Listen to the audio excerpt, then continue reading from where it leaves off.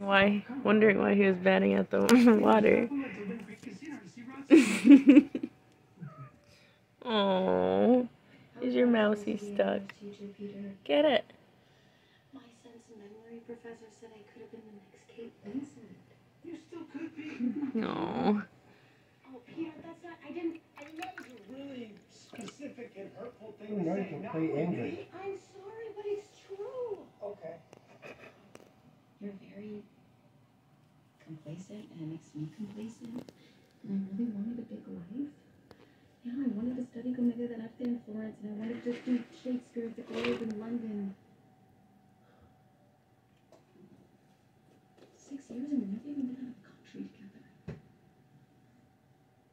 Well, we did go see Don't one. say Rex too. So, this new girl, is she like really together or something? I guess so. Mean, she has this little pie shop down the street from my gym.